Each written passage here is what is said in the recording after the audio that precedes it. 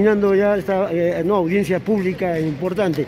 Conclusión general, como organizador. Satisfactorio porque de alguna u otra forma se han dado a conocer actos irregulares por parte de la, de la municipalidad en sus diferentes etapas, por parte de Autodema también, el informe del Contralor de, de Arequipa ha sido muy contundente, muy claro.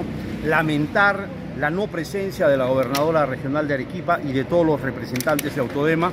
Eso demuestra que cobardemente están eh, evitando ser cuestionados por la población, agradecer la participación de los congresistas por Arequipa, excusar al congresista Richard, este, Ricardo Medina Estras, que lamentablemente por cuestiones de salud de su hija no ha podido venir, pero se han aclarado varios puntos, se han tratado varios temas y lo que queda ahora simplemente es este, presionar para que todo lo planificado el día de hoy se haga realidad. Ahora, respecto al tema también de los, de los consejeros por Arequipa, no apareció ni uno.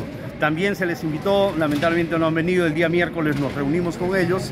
Eh, yo ahí voy a pedir que tengan un poquito más de seriedad y compromiso, porque ellos son consejeros regionales y son los primeros que han debido estar aquí para que puedan defender los intereses y trabajar por las necesidades de la eh, provincia de Cayoma y del distrito de Anares. El señor Contralor de la República, región Arequipa, está tomando en cuenta todo lo que se está tratando acá. Al parecer, hemos visto que Autodema va a ser notificado. También. Sí, a mí, a mí me encanta de verdad la actitud del, del Contralor de la República eh, de Arequipa. ¿Por qué? Porque ha demostrado mucho interés, mucha capacidad y sobre todo que pareciera ser un funcionario del Estado que no tiene ningún problema en luchar contra la corrupción y eso es muy bueno.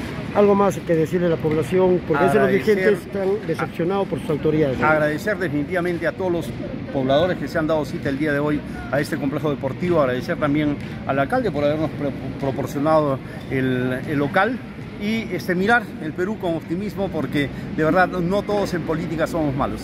Hay algunos que de alguna u otra forma queremos contribuir al desarrollo de cada uno de los pueblos a los cuales representamos. Algunos por gratitud, como es mi caso, porque yo no hubiese sido nada si no hubiera sido por la generosidad de la gente, por haber tenido la dicha de nacer en el Valle de Siguas. Muchas gracias, Muchísimas gracias.